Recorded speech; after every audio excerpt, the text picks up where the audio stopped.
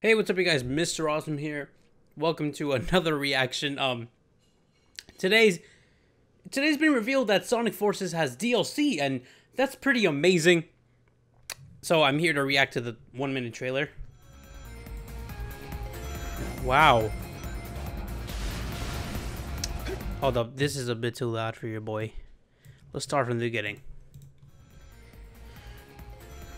Okay, there's a lot 2D. Okay. Wow, his homing attack's not that bad. Okay, you know, the ads are amazing, but... Okay, there's a lot of 2D. I, I was kind of expecting more of an adventure type of thing. Uh, wow, that chain homing attack's not that bad. Okay, his boost is pretty cool. Can can I get some more 3D gameplay? Yo,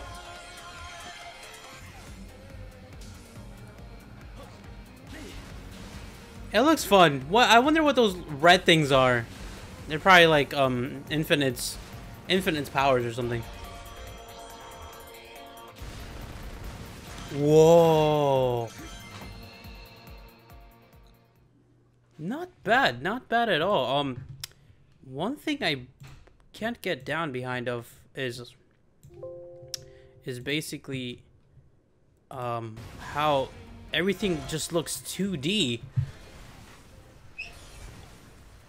I was kind of hoping, like I said before, like an Adventure 2 Battles type of gameplay, like an adventure gameplay. But no, this looks like Sonic Colors all over again. Sonic Colors is a good game. Please don't harpoon me. I love Sonic Colors. But it looks pretty interesting. I'm not gonna lie.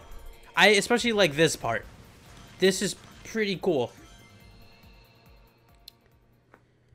Not bad, not bad. Um, something I want to know is a look first look at gameplay of Sonic Force episode Shadow add-on, a prequel to the main oh a prequel. So we have Sonic Mania and the episode of Shadow.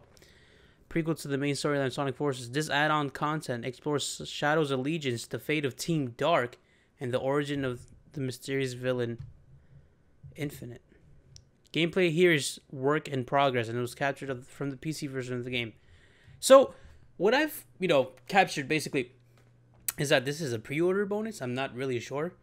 Um, I want to know because if I'm buying digitally on the Switch and the PC, so I'm not really sure how how how I'm gonna get this. So I think some more information is kind of needed. Um, like I said before, it's a little too much 2D. I don't mind. I don't mind at all. But you know, seeing that we have a lot of 2D anyways, we need more 3D. As always, you guys have yourselves a very good one, and as always, stay golden. Oh, and if you're new, subscribe. You know, if you guys like reaction videos and that sort of stuff.